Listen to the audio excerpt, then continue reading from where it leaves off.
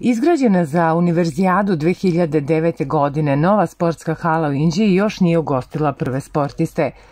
Gomilale su se godine i dugovi, zbog čega sada nije lako naći pravo rešenje. Ono ružno i vid, očeto, a ne, ne radi se. Alat tu stoji, pa dobro će doći svakako za svakakve aktivnosti.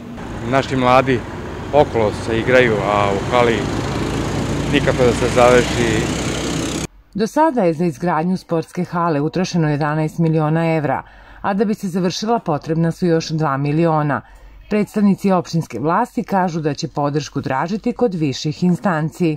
Nešto što nam se vuče godinama unazad, bolje reći više od decenije, jeste e, završetak sportske hale, Tražit ćemo i tu e, podršku i u pokrajini i u Republici i gde god možemo da završimo sportsku halu i da možemo konačno na zdravim osnovama da krenemo da radimo zaista nove projekte. Podrška za završetak hale očekuje se i od Uprave za kapitalna ulaganja Vojvodine, kao i od resornih republičkih institucija.